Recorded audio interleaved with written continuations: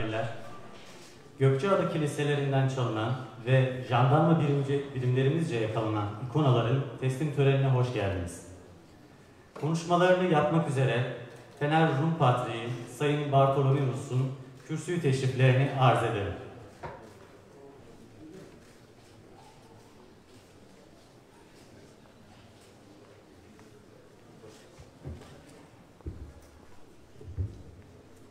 Sayın Bakanım, devlet ve yerel makamların değerli temsilcileri, basın mensupları ve kıymetli Hazirun, bugün bizim için çok önemli ve çok güzel bir gündür.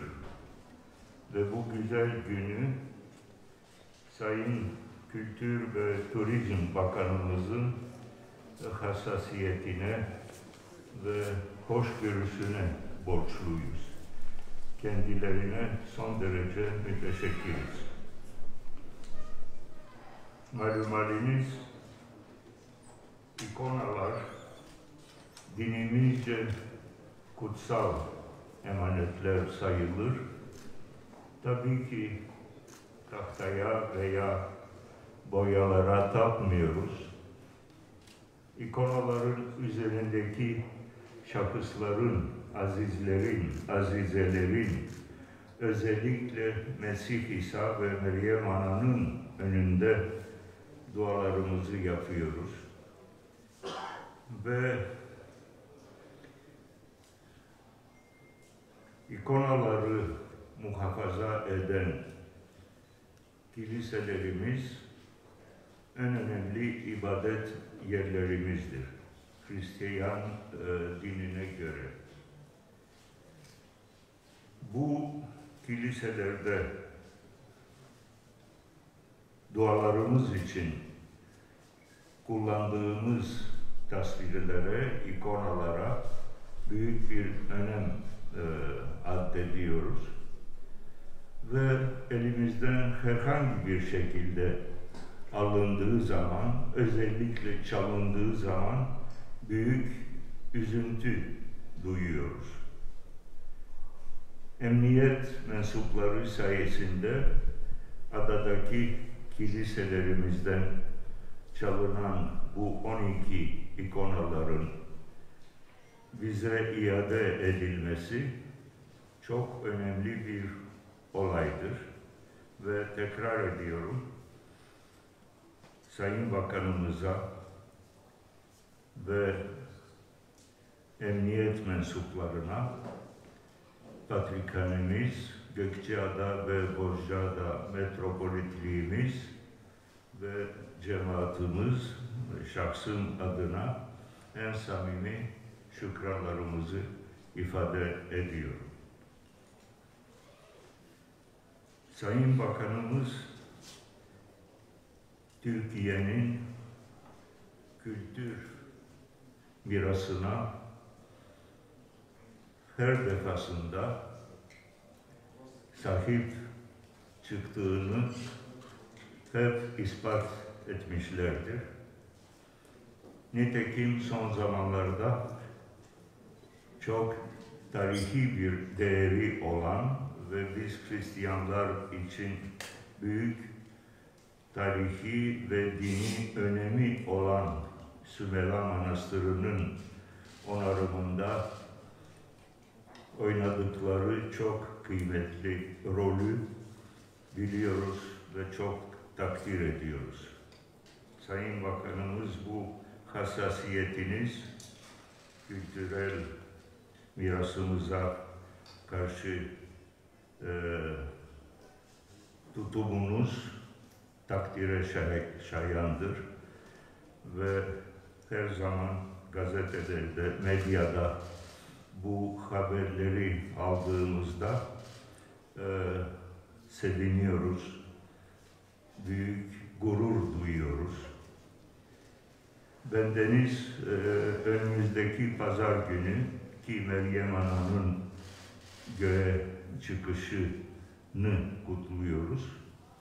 Ee, Sümela Manastırı'nda ilgili makamların izinleriyle e, tekrar ayin yapma e, şansına nail olacağım. 2010 senesinden başlamak üzere 2015 senesine kadar altı defa oradaki ayini yönettim. İlk senelerde 10-11 senelerinde Rusya'dan, Ukrayna'dan gelen din adamları ile beraber bu ayinleri yönettik. Ondan sonra restorasyon çalışmaları başladı. 5-6 sene bir ara verildi. Geçen sene bize verilen izinle yine ayinleri tekrarladık ve bu sene şahsen bendeniz gidip e, bu ayini yöneteceğim ve bildiğim kadarınca aldığım haberlere göre yurt dışından e, önemli bir katkı e, ol, olacaktır. Yani gelen turist e, ve mümin e, müminin sayısı büyük olacaktır. Bunlarla sözüme söz verirken bütün Çanakkale'lilere, hemşerilerime, hepinize en samimi duygularımı ifade ediyorum. İyi tatiller diliyorum ve hükümetimize ve özellikle Sayın Kültür ve Turizm Bakanımıza tekrar tekrar şükranlarımı ve tebriklerimi arz ediyorum. Sağ olun.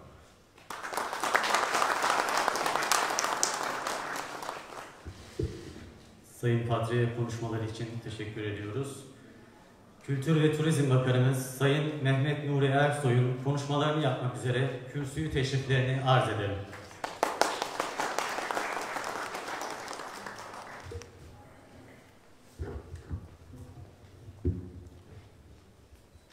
Sayın Patrick Bartolomeus, değerli misafirler, kıymetli basın mensupları, kültür varlıklarımızın korunması ve kaçakçılığın önlenmesi noktasında ulaşılan yeni bir başarıyı daha sizlerle paylaşmak üzere aranızda bulunmaktan mutluluk duyuyorum.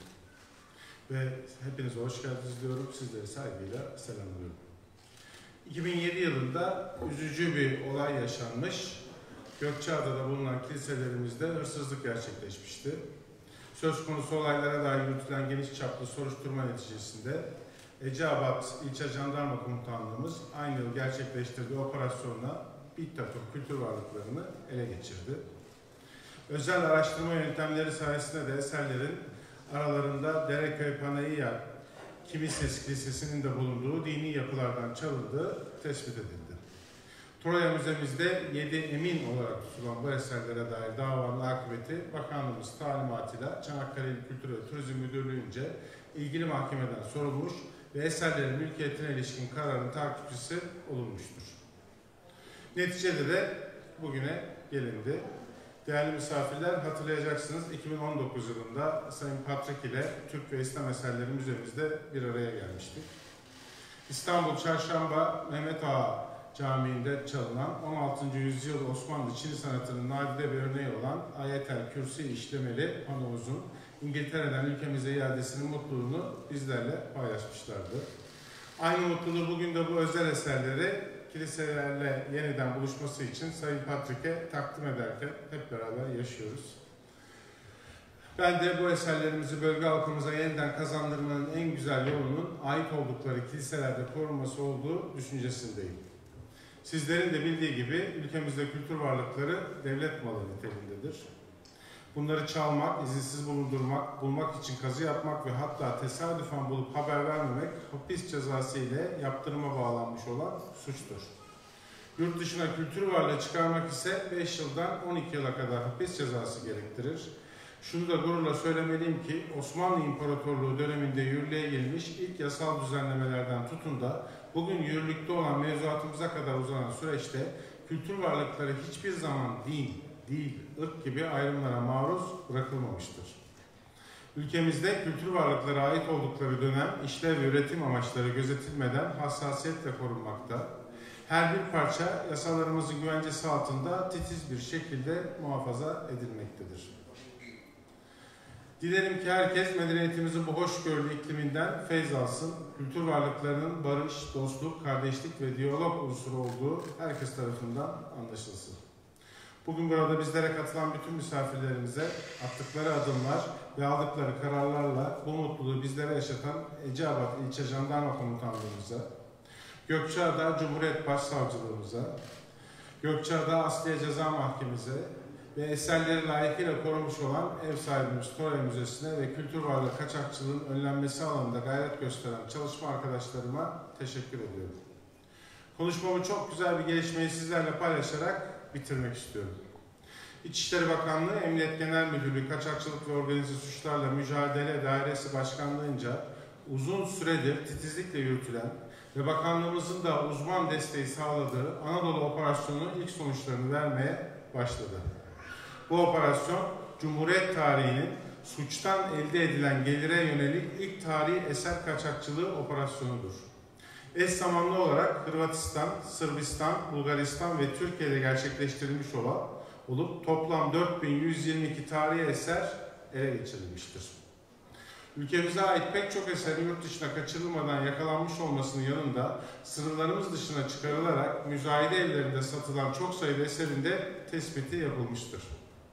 Bunların ülkemize iadesine yönelik gerekli girişimleri de ilgili kurumlarımızla koordineli olarak gerçekleştirmekteyiz.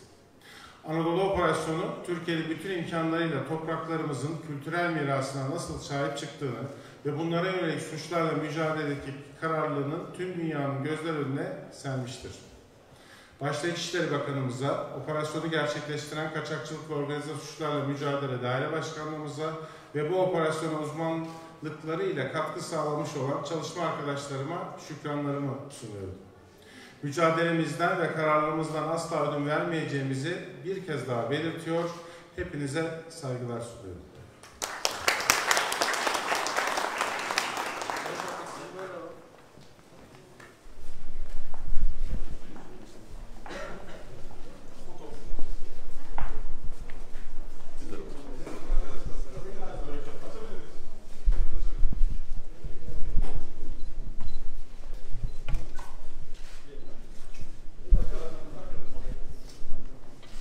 Evet, konuşmamda da belirttiğim gibi arkadaşlar, tarihi eserler orijinal yerlerinde daha değerli, daha anlamlı. Biz geçici bir süreyle burada yedi evinde tuttuk, muhafaza ettik. Ama titiz bir çalışmayla önce bu hırsızlar yakalandı, tanınan eserler bulundu. Tabii ki bir hukuki süreci, prosedürü O süreç dahilinde müzemizde misafir ettik eserlerimizi. Şimdi ait olduğu yerlere ulaştırılmak üzere sizlere teslim ediyoruz. Bu anlamlı günde e, bugün başka bir operasyonun da gerçekleşmiş olması çok da anlamlı oldu. Yani bu bu hırsızlıklara tevessül edenlerin sonuçta bir şekilde izlerinin sürüldüğünün, takip edildiğinin bir göstergesi oldu. Bu bugünkü bir devir teslim töreninde de çok anlamlı bir şekilde kutlamış olduk. Katıldığınızdan dolayı teşekkür ediyoruz. Hayırlı olmasını diliyoruz. Biz teşekkür ediyoruz. Ne güzel kullara, kafalar, kulların içinde kafalar çektiğiniz. Sağ olun. Var olun.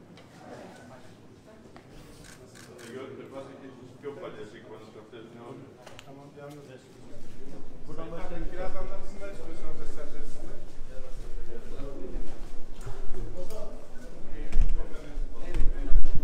ahşap e, üzerine e, metal takma, yaldızlı metal takmayla yapılmış e, kıymetli bir e, eser.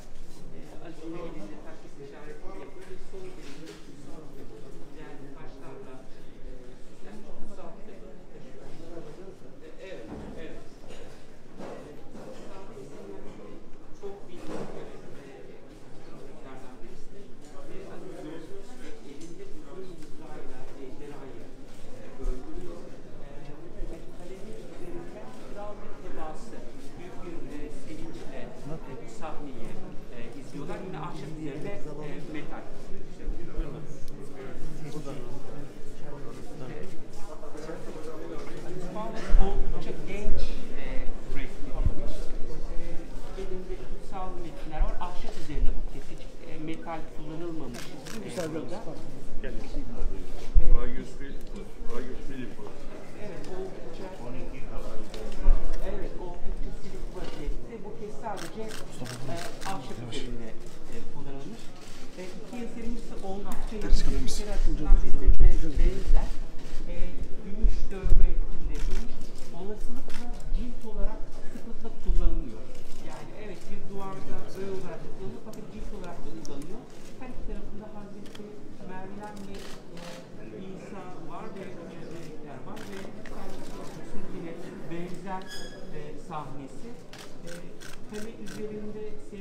kralı ve baktığımızda oldukça Evet. Evet. Evet, oldukça e, önemli bir eser. Hazreti Meryem'in ölümü anlatılıyor. E, grafiti e, kumaşlarla süslenmiş. Hazreti İsa e, yine burada resmedilmiş. İki melek e, ruhunu alıp cennete iletmek üzere e, iki melek e, evet Hazreti İsa burada iki melek hemen arkasında. Evet, bunda bir e, kesinlikle olamamış. Burada hem e, duvar örüsü olarak kullanılıyor fakat pencere ve kapılarda da kullanılan ahşap ikonalar oldukça e, kullanılıyor. Evet, o, o, o da bir aynı eski eserlerden.